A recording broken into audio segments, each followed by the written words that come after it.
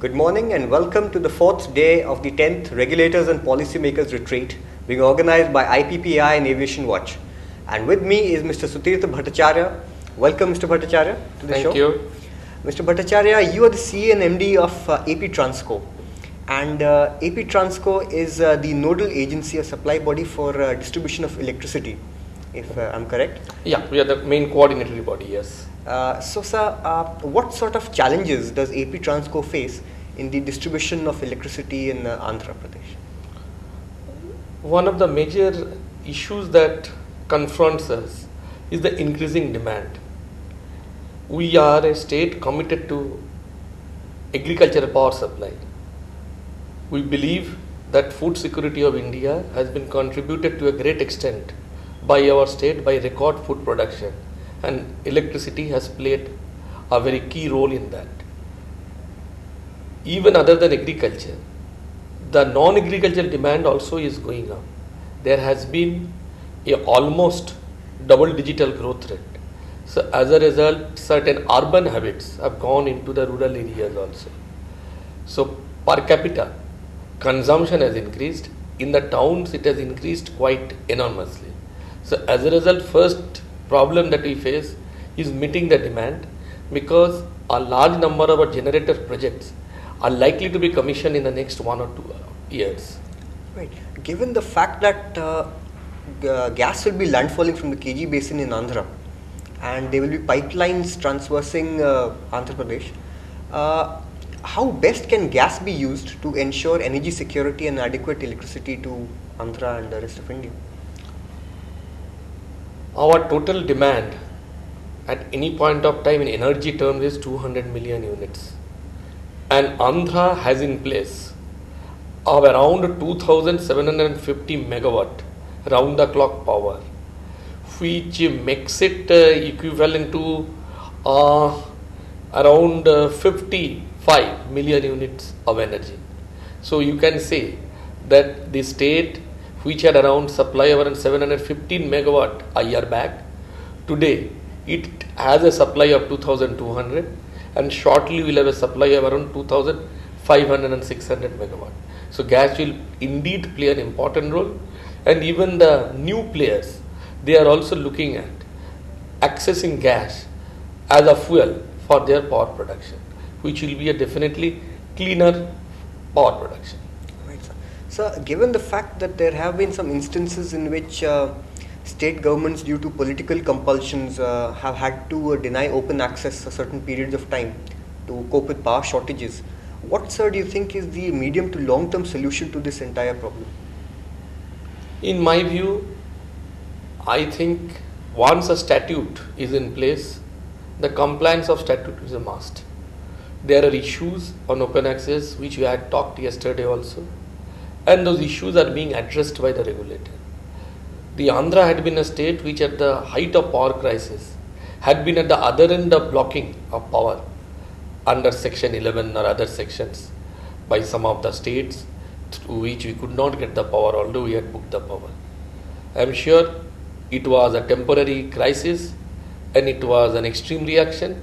And uh, in the days to come, particularly the government of India having made its mind very clear, regulator having made its mind very clear, law not being in favor of restricting open access under Section 11, I am sure you will get to see such practices to be extremely rare in future. Sir, what is the long term plan for uh, the growth of uh, infrastructure in Andhra uh, being driven by uh, being driven by cheaper energy, so to say? For example, you've become the second state after Karnataka to have a very well developed IT hub. Uh, the fact that services are now gaining traction in Andhra, manufacturing is also on the rise. How can energy play a vital role in its uh, uh, future production increase? I, I think it's a very, very vital question that you had asked us.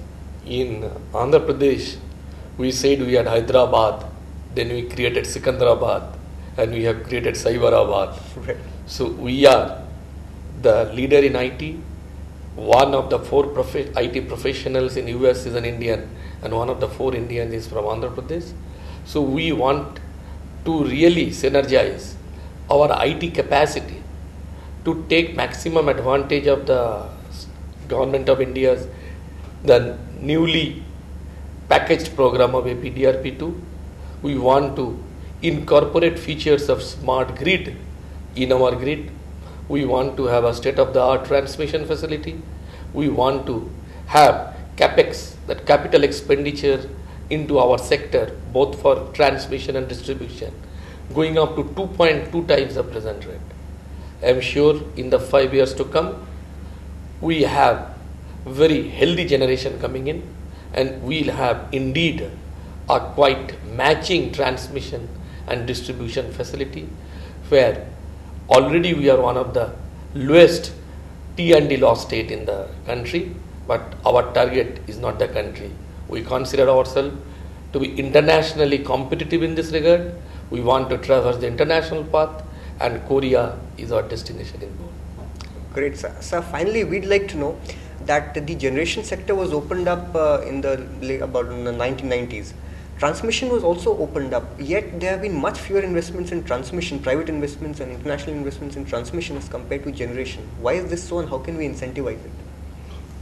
Well, the issue is, uh, I think you have already asked a question on Section 11. The issue is the first of all, the in generation investment has to become very friendly. Once, because they are the source, they don't require a license. They are under only obligation to generate. And if they start getting the support of the customers, then there will be a private sector private sector interface between the generator and a customer. And once that kind of confidence building, a confidence building measures bring in a kind of proactive ecosystem, I'm sure investment in transmission and distribution are not very far away. There have been uh, Maharashtra, you can see, there had been some investment. Rajasthan also is looking at some investment, I am told, in transmission sector. We are also looking at proactive investment so that quality can be built up and the consumer's right to get quality power is not compromised in any manner. Excellent, sir. So finally, we'd like to know, uh, Mr. Jayant Kavle was talking about corporate governance, implementation of corporate governance in uh, public sector bodies and state uh, um, authorities. Uh, so, sir, what are your views on corporate governance? See, if you read the Companies Act, corporate governance is uh, one of the important things. Recently, there have been some unfortunate incidents in some of the very big companies also, which reiterate the need for quality corporate governance. And I'm sure none of the companies in the power sector which are under the glare of the regulator, the public, the public hearing process, will shy away from any kind of audit of corporate governance.